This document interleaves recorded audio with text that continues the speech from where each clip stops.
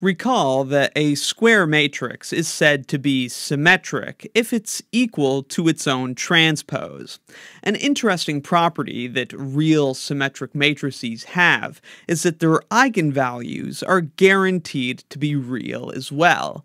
At this point, we've seen several examples of real matrices that still have complex eigenvalues, but this complication is never encountered by real symmetric matrices. Their eigenvalues are guaranteed to be real. So let's go through a proof. So for our proof, let's assume that lambda is an eigenvalue of our arbitrary real symmetric matrix A, and that x is a corresponding eigenvector. Then by definition, A times x equals lambda times x. Now, on the left of both sides of this equation, we'll multiply by x conjugate transpose. So we have x conjugate transpose times a times x equals x conjugate transpose times lambda times x.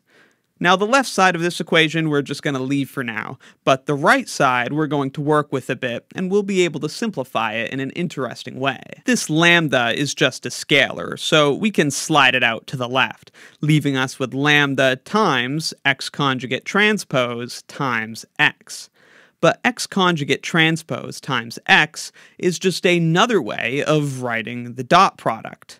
In the case where x is a complex vector, this conjugate is consistent with the complex dot product, so the equation holds. In the case where x is a real vector, the conjugate doesn't do anything, and so again, the equation still holds. Now, the dot product of x with itself is the same as the square of the magnitude of x, so this equals lambda times the magnitude of x squared. Remember, that's because the magnitude of a vector x is the square root of its dot product with itself. So without the square root, it's just the square of the magnitude. Now consider the far left part of this string of equations and the far right part.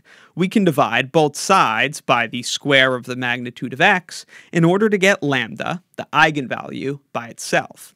Doing that, we have that lambda equals x conjugate transpose ax divided by the square of the magnitude of x. Now, the magnitude of x is guaranteed to be a real number, and its square is as well. So, if we can show that this numerator is real, that will suffice to show that the eigenvalue lambda is real. Because again, the denominator for sure is a real number, so the only thing that's up in question is the numerator.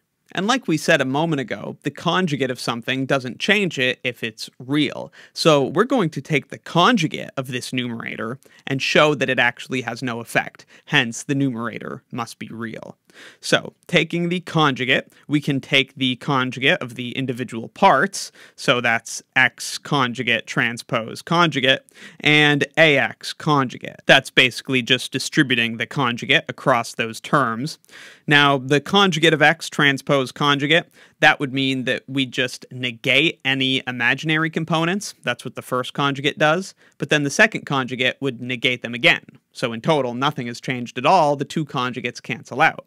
So x conjugate transpose conjugate is just x transpose. We, of course, still have that AX conjugate, but we can swap this order of multiplication by taking the transpose of AX conjugate and moving that to the left, and taking the transpose of X transpose, which is just X. So now we are here, and we can rewrite the conjugate of AX as the conjugate of A times the conjugate of X. And again, we're taking the transpose of this. Now, the conjugate of A, because A is taken to be a real symmetric matrix, well, the conjugate of A is just A, because the conjugate of a real matrix does not change it. So this is equal to this. But then the transpose of a product is just the product of the transposes in the reverse order. So this we can rewrite as X conjugate transpose times A transpose, and of course still times X on the right. And then the last step a was taken to be a symmetric matrix. So by definition, A transpose is the same as A.